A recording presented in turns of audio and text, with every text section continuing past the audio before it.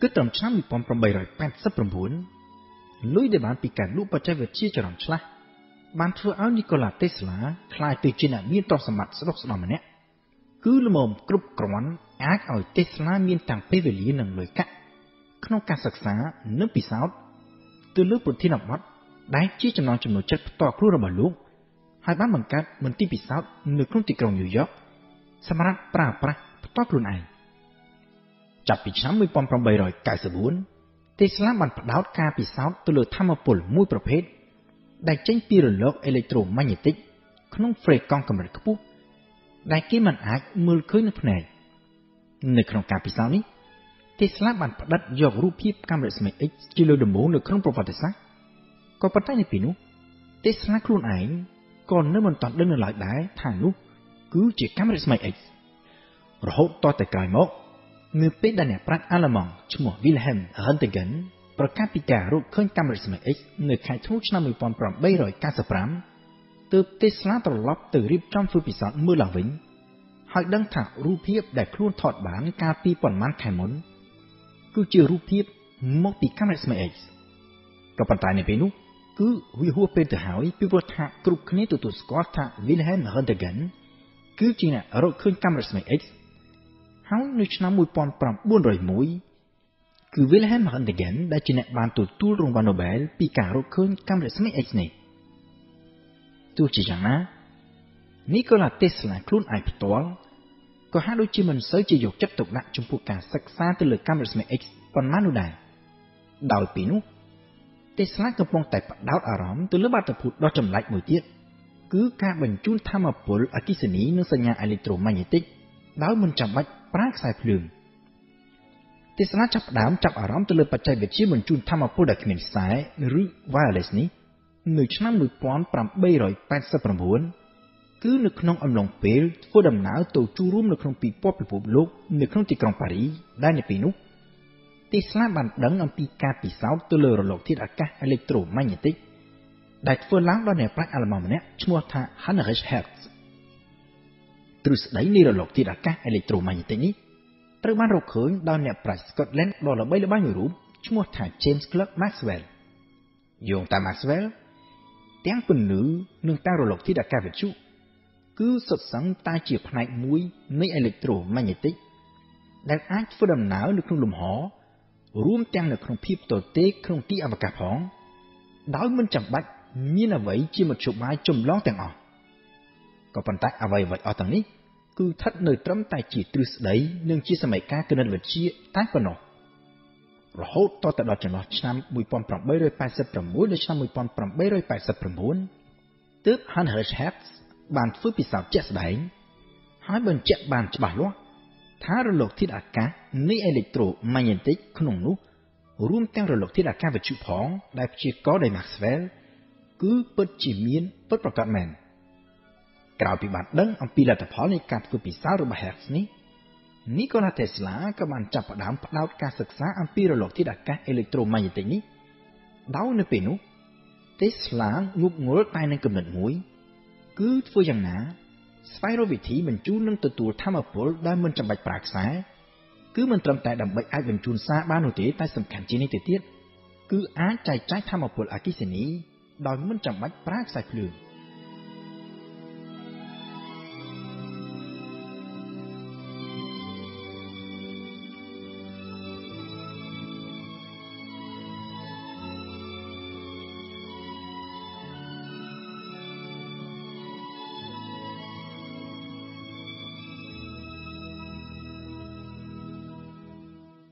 នីកូឡាតេស្លាចាប់ផ្ដើមរកឃើញនៅគំនិតខ្លះៗ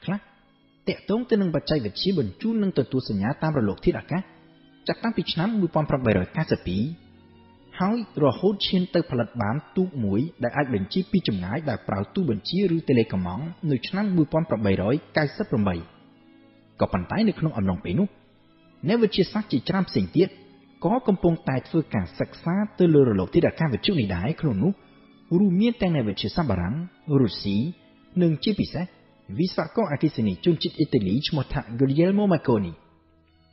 Marconi ដែលមានដើមកំណើតនៅអ៊ីតាលីក៏ប៉ុន្តែរស់នៅក្នុងប្រទេសអង់គ្លេសបានរកឃើញបច្ចេកវិទ្យាបញ្ជូនសារតាមរលកធាតុអាកាសវិទ្យុហើយបានចុះវិញ្ញាបនបត្រកម្មនៅក្នុងប្រទេសអង់គ្លេសនៅឆ្នាំ1897ម៉ាខូនីបានចប់ឈ្មោះជាអ្នកបង្កើតបច្ចេកវិទ្យាទំនាក់ទំនងតាមវិទ្យុរហូតមកទល់នឹងសប្តាហ៍ថ្ងៃ គឺដោយសារតែបច្ចេកវិទ្យាដែលម៉ាខូនីបានរកឃើញត្រូវបានម៉ាខូនីយកទៅប្រើប្រាស់ក្នុងការអនុវត្តជាក់ស្ដែងដោយជោគជ័យតាមរយៈការបង្កើតក្រុមហ៊ុនទូរលេខឥតខ្សែមួយនៅអង់គ្លេសគឺក្រុមហ៊ុន Marconi Company ផ្ទុយពី Marconi អ្វីដែល Nikola Tesla បានរកឃើញគឺបានត្រឹមតែទៅយកបង្ហាញឲ្យសាធារណជនឃើញជាគំរូតែប៉ុណ្ណោះ Tesla បានព្យាយាមស្វះស្វែងរកទុនវិនិយោគ យកមកអភិវឌ្ឍបច្ចេកវិទ្យារបស់ខ្លួនដើម្បីយកទៅធ្វើអាជីវកម្មផងដែរក៏ប៉ុន្តែមិនបានជោគជ័យតែក៏ពិត Nikola Tesla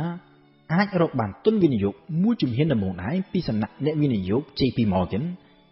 ដើម្បីយកទៅចំណាយលើការអភិវឌ្ឍបច្ចេកវិទ្យាទំនាក់ទំនងតាមរលកធាតុអាកាសហើយ Tesla បានសាងសង់ប៉មដ៏ខ្ពស់មួយនៅ Long Island ក្នុងរដ្ឋ New York ដើម្បីធ្វើជាអង់តែនសម្រាប់ប្រព័ន្ធតាក់ទងតាមរលកធាតុអាកាស ទៅកាន់គ្រប់ទីកន្លែងនៅទូទាំងពិភពលោកទាំងមូលក៏ប៉ុន្តែ នៅពីក្រោយគម្រោងប្រព័ន្ធតាក់ទងនេះ Nikola Tesla នៅតែងប់ងល់ទៅនឹងគំនិតចង់បង្កើតប្រព័ន្ធចែកចាយធម្មពលអគ្គិសនីតាមរលកធាតុអាកាសដោយមិនចាំបាច់ប្រើខ្សែភ្លើងដែលនេះគឺជាគម្រោងដែលត្រូវការចំណាយលុយច្រើនហើយដូច្នេះហើយបានជាក្នុងរយៈពេលត្រឹមតែមួយឆ្នាំ នៅក្នុងពេលដែលប្រព័ន្ធតាក់ទងតាមរលកធាតុអាកាសនៅមិនទាន់អាចដំណើរការសម្រាប់ការធ្វើអាជីវកម្មបាននៅឡើយទេស្លាត្រូវអស់លុយ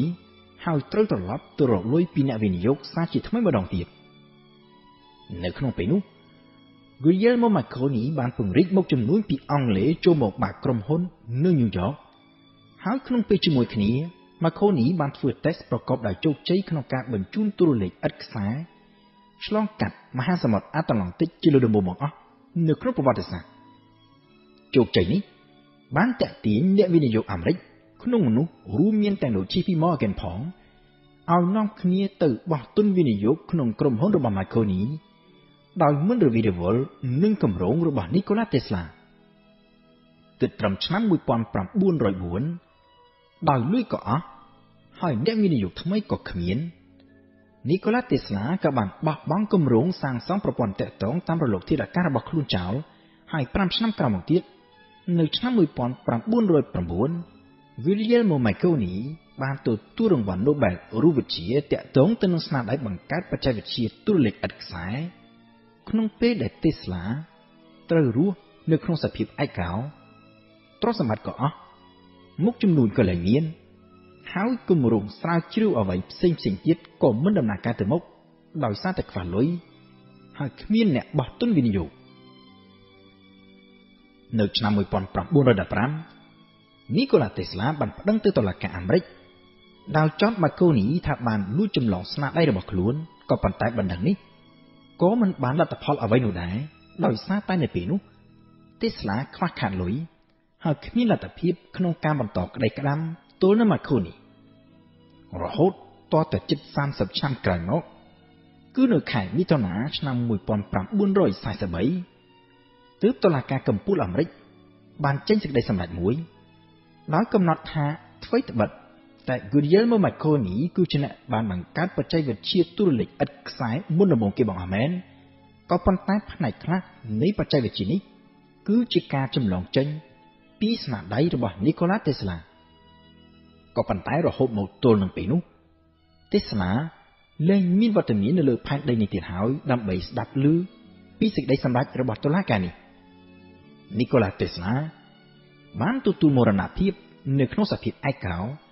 នៅក្នុងបន្ទប់សន្តាគារមួយនៅក្នុងទីក្រុងញូវយ៉កនៅថ្ងៃទី7ខែមករាឆ្នាំ1943នៅក្នុងវ័យ86ឆ្នាំ។